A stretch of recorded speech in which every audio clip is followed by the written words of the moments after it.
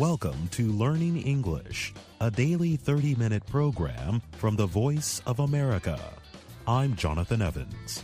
And I'm Ashley Thompson. This program is aimed at English learners, so we speak a little slower and we use words and phrases especially written for people learning English. On today's program, Jonathan and I bring you reports along with Faith Pirlo. She answers an English question from a learner in Turkey. We close with an American story. This week it is a municipal report by O. Henry. But first, here is Jonathan. On a recent day, Behez and Nabaz Farouk Ali were on Bamo Mountain in Iraq's Kurdistan area. The brothers hoped to make video recordings of a Persian leopard. It is believed there are only about 1,000 of the animals left in the wild. Our grandparents saw some even during the day, Nabaz said. Since then, the animals have almost all disappeared. Most Persian leopards are in Iran and Afghanistan. Iraqi Kurdish conservationist Hana Raza estimates there may be 25 left in Iraq. The International Union for Conservation of Nature lists the animal as endangered. Conservationists in Iraqi Kurdistan support increased efforts to protect the leopard. The animals are threatened by a severe loss of habitat, human interference, hunting, and the effects of war. Soren Ahmed is a biologist at the University of Sulaymaniyah. He said about 10 different Persian leopards had been recorded. But he added that 10 others have been found dead in the last 10 years, two of them shot by bullets. The Ali brothers had left their village of Horen to escape former President Saddam Hussein's violent campaign against the Kurds. When they returned in 1991, they found the village empty and partly destroyed. When people returned to their villages, they also started to hunt randomly, Nabaz said. Hunting of the leopard's prey, such as wild goats, helped lead to a decrease in their numbers. Hunting of endangered animals is not permitted in Iraq's Kurdish area. Anyone caught illegally hunting can be fined. But forest police official Akram Saleh said the laws can be difficult to enforce. The area is very large, and we don't have the necessary resources to cover it, he said. Hunters have better weapons, better cars than us. In parts of Bamo Mountain, Landmines have kept humans and cows away from some areas where leopards live, Nabaz said. The mines make researchers' work more dangerous. Animals in the area are also affected. Data from the Kurdistan regional government show that the Kurdish area lost almost half of its forest between 1999 and 2018. That caused a severe loss in the leopard's habitat. Razak Al-Kalani is a spokesperson for the KRG Board of Environment. He said a lack of public money for conservation and conflicts in the area have stopped some efforts. Soren Ahmed said, places like Bamo Mountain, if effectively protected, could become a breeding site for the leopards. He added, We have to save them. They are part of our culture and identity.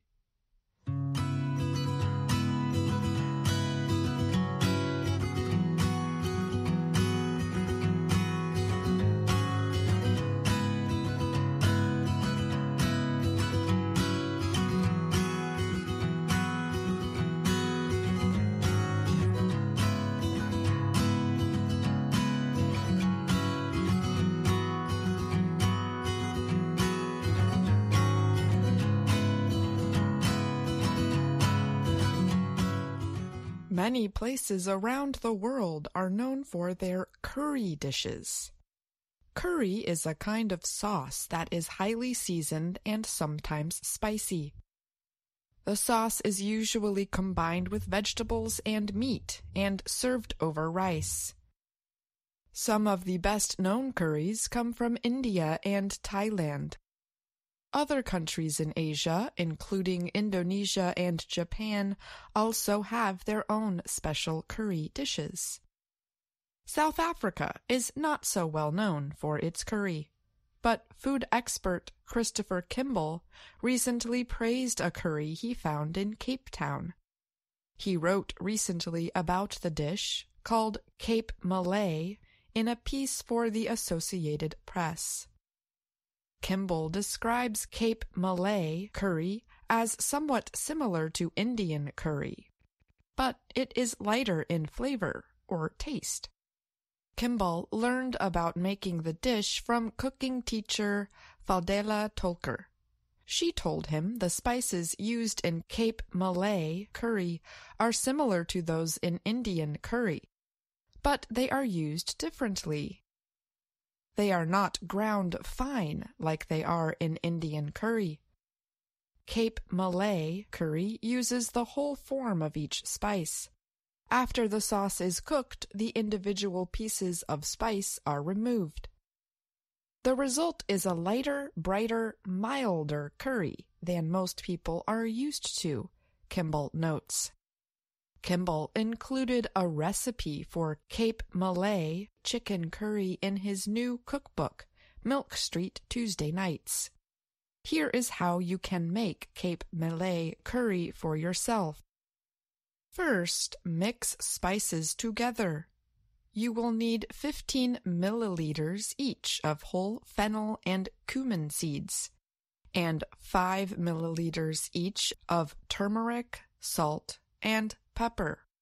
Put about 15 milliliters of the spice mixture onto uncooked chicken. Boneless, skinless chicken pieces called thighs work best, Kimball says. Next, heat some cooking oil in a large pan. Add two medium sized onions cut into small pieces. Cook them for 8 to 10 minutes until they are lightly browned. Then add in four cloves of chopped garlic, two serrano chili peppers cut in half, and about 100 grams of fresh ginger. About 30 seconds later, add in about 500 milliliters of chicken broth and 500 milliliters of cherry tomatoes, along with two whole cinnamon sticks, two bay leaves, and the rest of the spice mixture you prepared earlier. Then add the chicken thighs to the pan. Make sure the chicken is covered with the liquid. Bring the liquid to a simmer, then cover and cook for 25 minutes. Stir in about half a kilogram of potatoes, cut into small pieces. Cover the pan again and return to a simmer. Cook until the chicken and potatoes are soft, another 12 to 15 minutes. Safely remove the chicken from the pan and put it onto a large plate. Remove the ginger, cinnamon sticks, bay leaves, and chili halves. Continue to simmer over medium heat for another five minutes. Pull the chicken into bite sized pieces, then return it to the pan and stir to combine. Stir in juice from one lemon, then taste the mixture and add additional salt and pepper if needed. After the cooking is finished, pour the curry mixture into a serving bowl and put fresh mint on top. Serve over basmati or jasmine rice. The lemony, richly flavored curry takes about one hour to prepare and serves six people. This week on Ask a Teacher, we will answer a question from Errol from Turkey. Hello, my name is Errol. What is the best way of learning words? I am very confused about the subject. can you give me some advice about learning words, please? Thank you for emailing us this very important question, Errol. There are many ways to learn words in English. Over the next two weeks, we will talk about learning different parts of speech, or word families, and using suffixes. Many language teachers say there are eight different parts of speech in English. We will look at the four major parts of speech that include most content words nouns, adjectives, verbs, and adverbs. Nouns are people, places, things, or ideas. Adjectives are words that describe nouns. Verbs describe actions or states of being. And adverbs describe adjectives, verbs, or even other adverbs. In this simple sentence, we can see all four major parts of speech. Warm days have quickly come. Warm is the adjective that describes the noun days. Quickly is the adverb that describes have come, the verb in the sentence. We use suffixes after the base form or root of a word. The root is the simplest form of the word. We can use suffixes to change the meaning of words by adding them to the base form. So if we know one word, like a verb we could use a suffix to change that part of speech to another part of speech. This idea is very helpful for learning new words.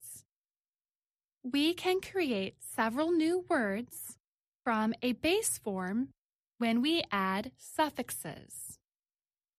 For example, if we have the verb to argue, we can add the suffix ment to make the noun argument. Or if we have a verb like create, we can add ive to the end to make the adjective creative. In this case, we drop the final e at the end of the verb and add the suffix. To turn some nouns and adjectives into verbs, we can use the suffixes eyes or a phi. For example, beauty plus suffix a phi equal beautify. Remove the y and add the suffix.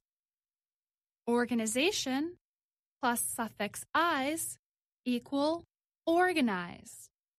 We can drop the ending ation, a noun suffix, to get the base form. Then add eyes, the verbal ending. To turn some verbs into nouns, we can use the suffix er, ment, or ation. For example, argue plus suffix ment equal argument. Drop the e and add the suffix. Dance plus suffix er equal dancer. Create plus suffix ation equal creation. Drop the e and add the suffix. Some adjectives can also become nouns with suffixes ity or t. For example, responsible plus suffix ity equal responsibility. Drop the e and add the suffix. We can also use the suffixes ist or ism to make other nouns. For example, active plus suffix ist equal activist. Drop the e and add the suffix. Magnet plus ism equal magnetism. Some English teachers use a chart to show the possible words you can make using suffixes. Next week on Ask a Teacher, we will continue learning how to make new words by adding suffixes. And we will fill in the chart of words we have been talking about by making adjectives and adverbs with suffixes. What question do you have about American English? Send us an email at learningenglish at voanews.com. And that's Ask a Teacher. I'm Faith Pirlo. Our story today is called A Municipal Report. It was written by O. Henry and first published in 1904. Here is Shep O'Neal with the story. It was raining as I got off the train in Nashville, Tennessee. A slow, gray rain. I was tired, so I went straight to my hotel. A big, heavy man was walking up and down in the hotel lobby. Something about the way he moved made me think of a hungry dog looking for a bone. He had a big, fat, red face and a sleepy expression in his eyes. He introduced himself as Wentworth Caswell, Major Wentworth Caswell, from a fine Southern family. Caswell pulled me into the hotel's barroom and yelled for a waiter. We ordered drinks. While we drank, he talked continually about himself, his family, his wife, and her family. He said his wife was rich. He showed me a handful of silver coins that he pulled from his coat pocket. By this time, I had decided that I wanted no more of him. I said good night. I went up to my room and looked out the window. It was ten o'clock, but the town was silent. A nice, quiet place, I said to myself as I got ready for bed. Just an ordinary, sleepy southern town. I was born in the South myself but I live in New York now. I write for a large magazine. My boss had asked me to go to Nashville. The magazine had received some stories and poems from a writer in Nashville named Azalea Adair. The editor liked her work very much. The publisher asked me to get her to sign an agreement to write only for his magazine. I left the hotel at nine o'clock the next morning to find Miss Adair. It was still raining. As soon as I stepped outside, I met Uncle Caesar. He was a big old black man with fuzzy gray hair. Uncle Caesar was wearing the strangest coat I had ever seen. It must have been a military officer's coat. It was very long, and when it was new, it had been gray. But now, rain, sun, and age had made it a rainbow of colors. Only one of the buttons was left. It was yellow, and as big as a fifty-cent coin. Uncle Caesar stood near a horse and carriage. He opened the carriage door and said softly, Step right in, sir. I'll take you anywhere in the city. I want to go to 861 Jasmine Street, I said, and I started to climb into the carriage. But the old man stopped me. Why do you want to go there, sir?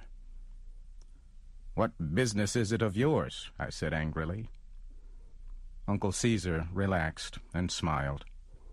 Nothing, sir. But it's a lonely part of town. Just step in and I'll take you there right away. 861 Jasmine Street had been a fine house once, but now it was old and dying. I got out of the carriage. That will be two dollars, sir, Uncle Caesar said. I gave him two one-dollar bills. As I handed them to him, I noticed that one had been torn in half and fixed with a piece of blue paper. Also, the upper right-hand corner was missing. Azalea Adair herself opened the door when I knocked. She was about fifty years old. Her white hair was pulled back from her small, tired face. She wore a pale yellow dress. It was old, but very clean. Azalea Adair led me into her living room. A damaged table, three chairs, and an old red sofa were in the center of the floor. Azalea Adair and I sat down at the table and began to talk. I told her about the magazine's offer. She told me about herself. She was from an old Southern family. Her father had been a judge. Azalea Adair told me she had never traveled or even attended school. Her parents taught her at home with private teachers. We finished our meeting. I promised to return with the agreement the next day, and rose to leave. At that moment, someone knocked at the back door. Azalea Adair whispered a soft apology and went to answer the caller. She came back a minute later with bright eyes and pink cheeks. She looked ten years younger. You must have a cup of tea before you go, she said. She shook a little bell on the table, and a small black girl about twelve years old ran into the room. Azalea Adair opened a tiny old purse and took out a dollar bill. It had been fixed with a piece of blue paper, and the upper right-hand corner was missing. It was the dollar I had given to Uncle Caesar. Go to Mr. Baker's store, Impy, she said, and get me twenty-five cents worth of tea and ten cents worth of sugar cakes, and please hurry. The child ran out of the room. We heard the back door close. Then the girl screamed, her cry mixed with a man's angry voice. Azalea Adair stood up. Her face showed no emotion as she left the room. I heard the man's rough voice and her gentle one. Then a door slammed, and she came back into the room. I am sorry, but I won't be able to offer you any tea after all, she said. It seems that Mr. Baker has no more tea. Perhaps he will find some for our visit tomorrow. We said goodbye. I went back to my hotel. Just before dinner, Major Wentworth Caswell found me. It was impossible to avoid him. He insisted on buying me a drink and pulled two one-dollar bills from his pocket. Again, I saw a torn dollar fixed with blue paper with a corner missing. It was the one I gave Uncle Caesar. How strange, I thought. I wondered how Caswell got it. Uncle Caesar was waiting outside the hotel the next afternoon. He took me to Miss Adair's house and agreed to wait there until we had finished our business. Azalea Adair did not look well. I explained the agreement to her. She signed it. Then, as she started to rise from the table, Azalea Adair fainted and fell to the floor. I picked her up and carried her to the old red sofa. I ran to the door and yelled to Uncle Caesar for help. He ran down the street. Five minutes later, he was back with a doctor. The doctor examined Miss Adair and turned to the old black driver. Uncle Caesar, he said, run to my house and ask my wife for some milk and some eggs. Hurry. Then the doctor turned to me. She does not get enough to eat, he said. She has many friends who want to help her, but she is proud. Mrs. Caswell will accept help only from that old black man. He was once her family's slave. Mrs. Caswell, I said in surprise. I thought she was Azalea Adair. She was, the doctor answered, until she married Wentworth Caswell twenty years ago. But he's a hopeless drunk. He takes even the small amount of money that Uncle Caesar gives her. After the doctor left, I heard Caesar's voice in the other room. Did he take all the money I gave you yesterday, Miss Azalea? Yes, Caesar, I heard her answer softly. He took both dollars. I went into the room and gave Azalea Adair fifty dollars. I told her it was from the magazine. Then Uncle Caesar drove me back to the hotel. A few hours later, I went out for a walk before dinner. A crowd of people was talking excitedly in front of a store. I pushed my way into the store. Major Caswell was lying on the floor. He was dead. Someone had found his body on the street. He had been killed in a fight. In fact, his hands were still closed into tight fists. But as I stood near his body, Caswell's right hand opened. Something fell from it and rolled near my feet. I put my foot on it, then picked it up and put it in my pocket. People said they believed a thief had killed him. They said Caswell had been showing everyone that he had fifty dollars, but when he was found, he had no money on him. I left Nashville the next morning. As the train crossed a river, I took out of my pocket the object that had dropped from Caswell's dead hand. I threw it into the river below. It was a button, a yellow button, the one from Uncle Caesar's coat. And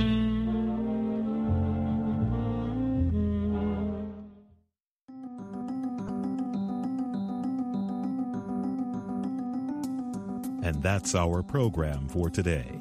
Listen again tomorrow to learn English through stories from around the world. I'm Jonathan Evans. And I'm Ashley Thompson.